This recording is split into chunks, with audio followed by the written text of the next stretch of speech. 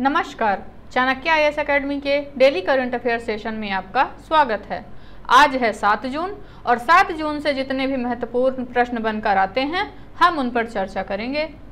हमारा पहला प्रश्न है, हाल ही में खबरों में रही उहल नदी पर किस परियोजना को लेकर हिमाचल प्रदेश और पंजाब के बीच विवाद की आशंका है? थिरोड जल विद्युत परियोजना, कानन विद्युत परियोजना शानन विद्युत परियोजना या संजय विद्युत परियोजना। तो शानन विद्युत परियोजना जो उहल नदी पर है, इसी को लेकर हिमाचल प्रदेश और पंजाब के बीच विवाद बढ़ने की आशंका जताई जा रही है। उहल नदी पर स्थित शानन विद्युत परियोजना के स्वामित्व को लेकर हिमाचल प्रदेश और पंजाब के बीच विवाद आरंभ होने की आशंका जताई जा रही है। यह परियोजना हिमाचल प्रदेश के जोगिंदर नगर में बरोट घाटी पर में स्थित है। उहल नदी थमसर ग्लेशियर से निकलती है। यह ग्लेशियर धौलाधार पर्वत श्रेणी में स्थित है। यह नदी उहल घाटी से होकर बहती है। यह चौहार घाटी के रूप में भी प्रसिद्ध है। उहल नदी ब्यास नदी का एक जलबेसिन है। चौहार घाटी को पार करने के बाद उहल नदी ब्यास नदी में मिल जाती है। हमारा अगला प्रश्न देखेंगे। हाल ही में, किस देश की आर्थिक मंदी दुनिया की चौथी सबसे बड़ी वैश्विक मंदी अर्थव्यवस्था बन गई है? ब्रिटेन की आर्थिक मंदी, जर्मनी की आर्थिक मंदी, या इंग्लैंड की आर्थिक मंदी, जापान की आर्थिक मंदी? तो अभी हाल ही में जर्मनी की आर्थिक मंदी, जो दुनिया की सबसे बड़ी मंदी वाली, आर्थिक मंदी वाली अर्थव्यवस्था बन गई है। जर्मनी दुनिया की चौथी सबसे बड़ी अर्थव्यवस्था, वर्तमान में यूरो में गिरावट और 2023 के पहले तीन महीनों के दौरान अर्थव्यवस्था में अप्रत्याशित संकुचन के कारण मंदी का सामना कर रहा है। संघीय सांख्यिकी कार्यालय द्वारा जारी आंकड़ों के अनुसार, जनवरी से मार्च के बीच जर्मनी के सकल घरेलू उत्पाद जीडीपी में ज़ीरो दशमलव तीन प्रतिशत की कमी आई है। यह पिछली तिमाही में शून्य दशमलव पाँच प्रतिशत की गिरावट के बाद है, जिससे यह मंदी का अनुभव करने वाली यूरोप की सबसे बड़ी अर्थव्यवस्था बन गई है। हमारा अगला प्रश्न देखेंगे। हाल ही में रेकिड ने कहा, पहला Dettol climate resilient school launch किया है, उत्तराखंड, नई दिल्ली, गुड़गांव या उत्तर प्रदेश। तो अभी रेकिड ने उत्तराखंड में अपना पहला Dettol climate resilient school launch किया है विश्व पर्यावरण दिवस पर रेकिड ने अपने डेटॉल बनेगा स्वस्थ भारत अभियान के तहत उत्तर काशी, उत्तराखंड में पहले डेटॉल क्लाइमेट रेजिलियंट स्कूल का उद्घाटन किया है। इस पहल का उद्देश्य स्कूलों को जलवायु, लचीले समुदायों के निर्माण के लिए आवश्यक उपकरण और ज्ञान प्रदान करना है। ग्लेशियर पिघलने, जनसंख्या वृद्धि, भूकंपीय गतिविधियों और प्राकृतिक संसाधनों के अत्यधिक दोहन जैसे विभिन्न कारकों के कारण उत्तराखंड जलवायु परिवर्तन के नकारात्मक प्रभावों के प्रति अत्यधिक संवेदनशील है। हमारा अगला प्रश्न देखेंगे। हाल ही में किस राज्य के भिवंडी तालुका गाँव में भारत का पहला कार्बन न्यूट्रल विकसित किया जाएगा? महाराष्ट्र, राजस्थान उत्तर प्रदेश या मध्य प्रदेश। तो अभी हाल ही में यह घोषणा हुई है कि महाराष्ट्र में, महाराष्ट्र के भिवंडी तालुका गाँव में कार्बन न्यूट्रल विकसित किया जाएगा। केंद्रीय राज्य मंत्री कपिल पाटिल ने हाल ही में ठाणे ज़िले में स्थित भिवंडी तालुका में भारत के पहले कार्बन तटस्थ गाँव के विकास की घोषणा की है। सरकार ठाणे ज़िले के भिवंडी तालुका में एक कार्बन तटस्थ गाँव विकसित करने की दिशा में सक्रिय रूप से काम कर रही है। इस पहल का उद्देश्य कार्बन उत्सर्जन को कम करना और एक स्वच्छ और हरित पर्यावरण के लिए अस्थायी प्रथाओं को बढ़ावा देना है। हमारा अगला प्रश्न देखेंगे। हाल ही में किस राज्य के जूना खटिया गाँव में हड़प्पा सभ्यता के पूर्व शहरी चरण के अवशेष प्राप्त हुए हैं? हरियाणा महाराष्ट्र, गुजरात या राजस्थान। तो अभी हाल ही में गुजरात के जूना खटिया गाँव में हड़प्पा सभ्यता के पूर्वी शहरी चरण के कुछ अवशेष मिले हैं।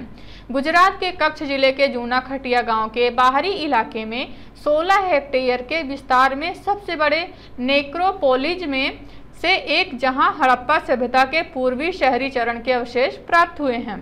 यहाँ एक सीप की चूड़ी, मिट्टी के बर्तन पत्थर के ब्लेड, यहाँ तक कि मानव कंकाल के अवशेष भी मिले हैं।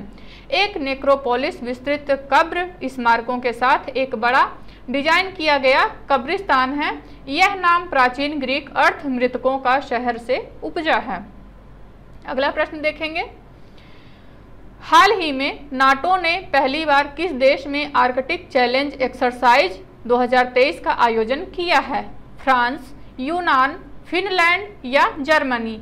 तो अभी हाल ही में नाटो ने फिनलैंड में आर्कटिक चैलेंज एक्सरसाइज 2023 का आयोजन किया है।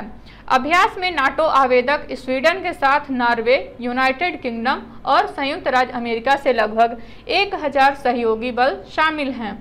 अप्रैल में पश्चिमी गठबंधन में शामिल होने के बाद से फिनलैंड, नाटो का सबसे नया सदस्य आर्कटिक क्षेत्र में अपने पहले संयुक्त प्रशिक्षण की मेजबानी कर रहा है।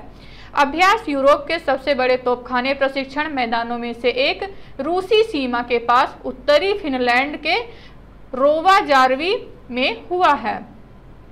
हमारा अगला प्रश्न देखेंगे। हाल ही में रेंगलर ने किसे अपना ब्रांड एम्बेसडर बनाया है? सानिया नेहवाल, गीता फोगाट, बबीता फोगाट या Smriti Mandhana.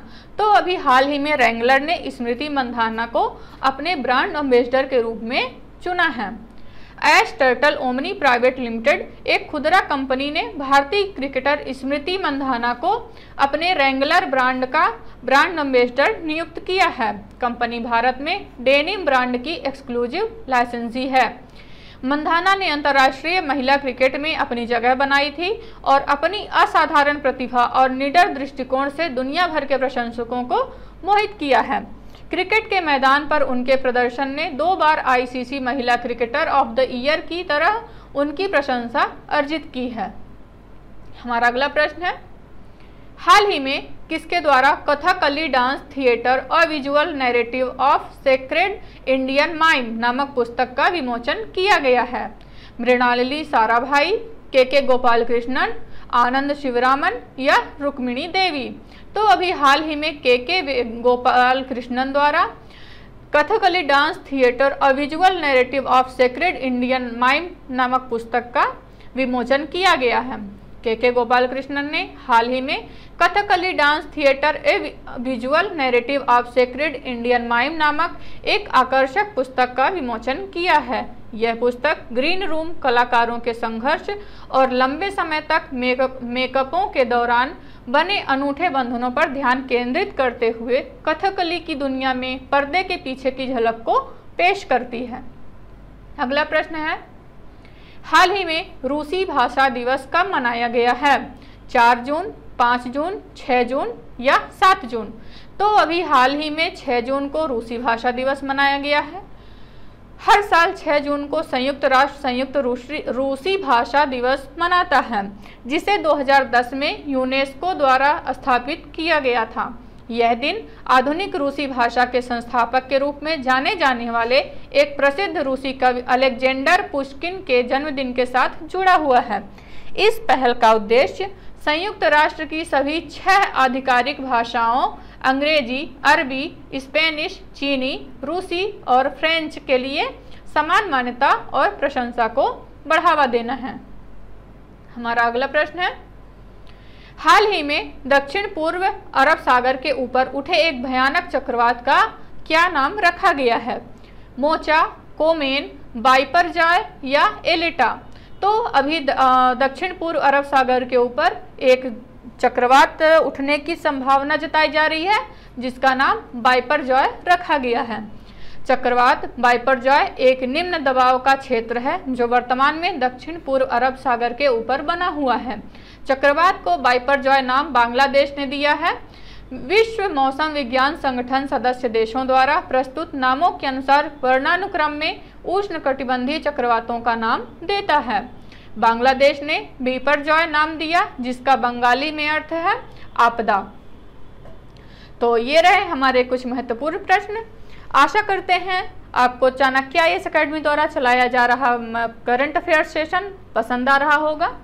Chanakya I S academy के और भी ऐसे कंटेंट से जुड़ने के लिए चैनल को सब्सक्राइब करें और वेल आइकन को दबाना ना भूलें, जिससे हमारा कोई भी कंटेंट मिस ना हो। धन्यवाद।